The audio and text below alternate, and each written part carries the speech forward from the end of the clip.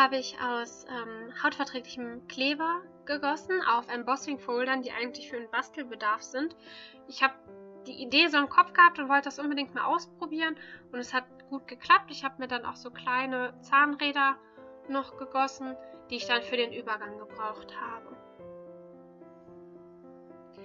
Die äh, Flügelchen habe ich dann zurechtgeschnitten. Das ist so ein gegossenes Teil. Die habe ich dann in Flügelform geschnitten und mit Lidschatten angemalt. Immer mit Haarspray und Lidschatten.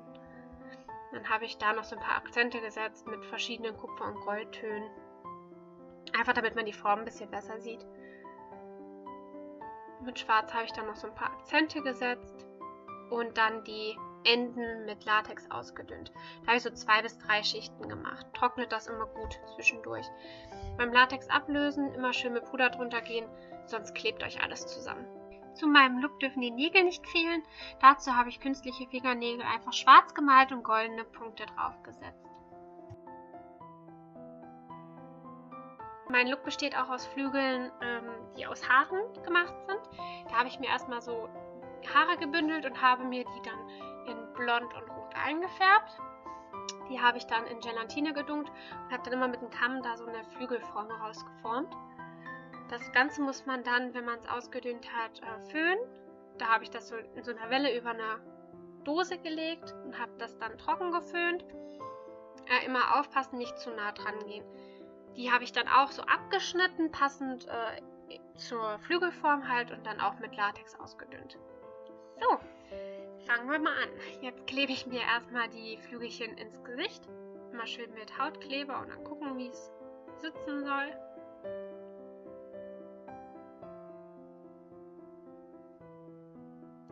Und dann die Enden auch immer noch mit Latex überschmieren.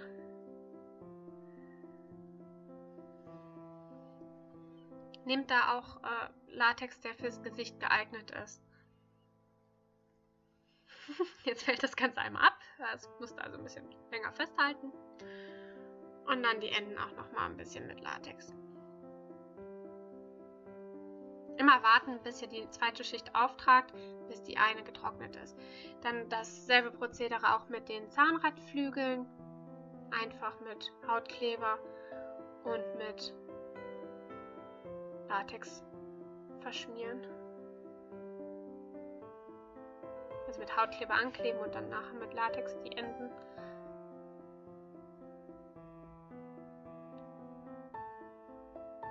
So, jetzt noch die Flügelchen für unten. Wenn das nicht so passt, einfach schnell abziehen und dann wieder dran kleben.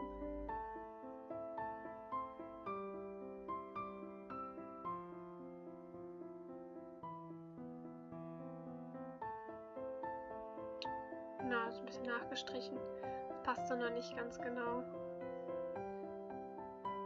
So, und jetzt auch wieder die Übergänge ein wenig verstreichen.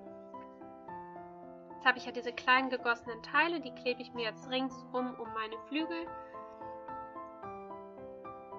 Die sind genauso gegossen wie die großen Teile, halt nur viel dünner, damit man einen besseren Übergang kriegt.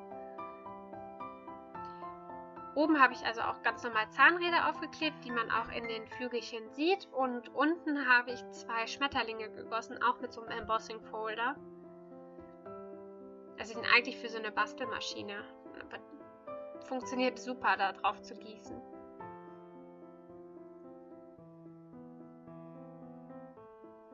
Genau, da klebe ich mir jetzt diese Schmetterlinge auf. Die Übergänge verstreiche ich dann auch immer wieder mit Latex. Macht da so viele Schichten, dass es wirklich einen schönen, schönen Übergang gibt. Immer schön antrocknen, damit das dann auch beim ersten Mal direkt hält.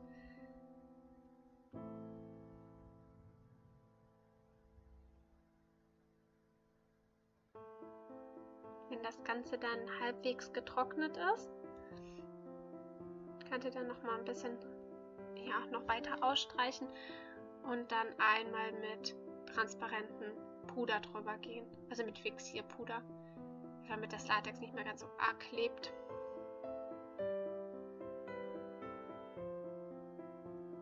So, jetzt klebe ich mir noch meine Fühler auf. Die habe ich ähnlich wie die Flügelchen oben gemacht. Habe ich auch mit äh, Gelatine und dann über einen Stift gewickelt, geföhnt. Und dann hatte ich so kleine Fühlerchen, habe ich auch extra in derselben Farbe eingefärbt wie die ähm, A-Flügel. Jetzt sieht man schon ziemlich ulkig aus. Also wie man die positioniert, ist einem über, selbst überlassen. Ich wollte jetzt, dass es von hinten eben auch gut ausschaut. Deswegen habe ich es von vorne und hinten auch bemalt. Kann die auch ein bisschen weiter vorne ansetzen. Ich fand die Variante an den Seiten ganz gut. Jetzt habe ich noch meine Augenbrauen festgeklebt mit hautverträglichem Kleber, also Klebestift, damit man die nicht mehr so arg darunter sieht. Ganz normal Make-up erstmal auftragen, damit man eine schöne Grundierung hat und nachher nicht ja, so fleckig im Gesicht wird.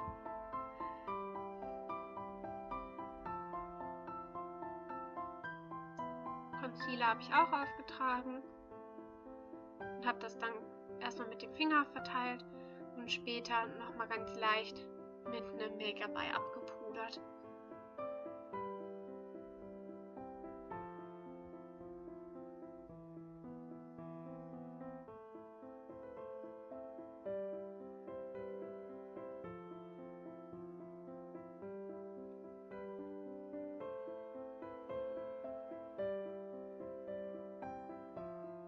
Damit so, ja, so eben wie möglich drunter wird. Oder so, so rein wie möglich. Jetzt mache ich erstmal Lidschattenbase drauf und tupfe mir dann einen goldenen Lidschatten auf. Ich mache das immer mit dem Finger, das gibt ein bisschen mehr Farbe ab. Und dann gehe ich meist nochmal mit dem Pinsel drüber.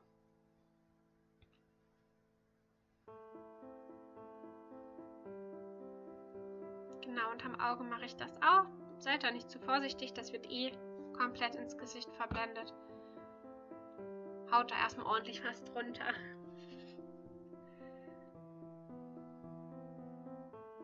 Na, hier sieht man, jetzt verblende ich das nochmal schön nach unten. Auch die Nase. Wäre doch auch was für ein Alltag, oder? So viel Highlight im Gesicht. Jetzt sehe ich mir das sowas wie eine Cut Crease, aber ziemlich hoch. Ich habe ja diese extremen Wimpern später und sonst würde man gar nichts mehr von der Cut Crease sehen. Und dann ja, verblende ich die äh, dunkle Farbe über die Cut Crease so weit, dass es schon fast in die Augenbrauen reicht. Ist ja auch so ein bisschen an der Nase noch runter. Genau. So ganz leicht an der Nase auch noch an den Seiten runter. Ja, und jetzt verblende und mache wieder Farbe und verblende und mache wieder Farbe, bis das dann so bis zur Augenbraue eine dunkle Fläche gibt. Dann verblende ich jetzt meine Zahnräderchen, die ich aufgeklebt habe, dann immer in der passenden Farbe zu dem Flügel, der dann daneben ist. Und den Schmetterling unten dann mit dem dunkleren Bronze. Einfach alles so ein bisschen verblenden. Jetzt male ich meine Augenbrauen erstmal schwarz an und male ein lustiges Muster auf dem Kopf. Ich habe mir da so ein Bild von einem Schmetterling genommen, also von einem echten, und habe dann geschaut, äh, wie ich das dann so ungefähr anordne und habe dann mich für diese ja, Kreise oder Bögen entschieden. Und oben verblende ich halt dieses äh, Dreieck komplett mit meinem Haaransatz, damit man das nicht mehr sieht. Jetzt ziehe ich mir noch eine Wing.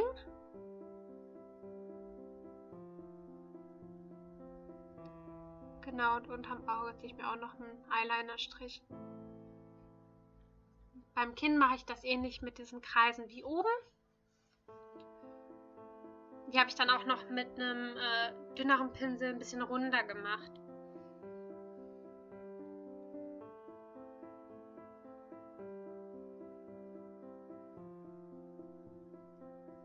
Ja, an den Seiten auch ein paar runter, aber dass es so eine Verbindung vom Ganzen gibt.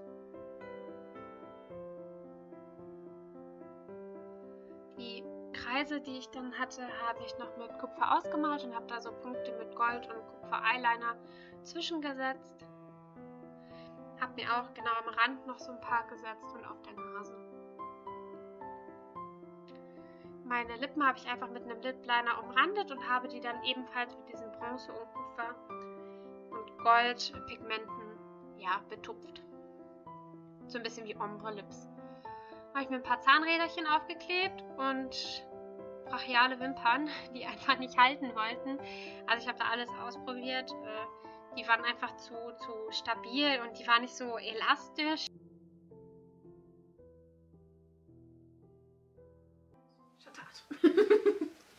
Jetzt hast du das. Jetzt bewegen die sich gar nicht mehr. Schade. Was? Meine Flügel. Sind schon wieder bestimmt 300 MB, die du jetzt verlacht hast.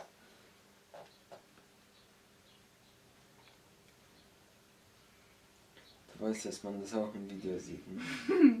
Weißt du, dass man das rausschneiden kann?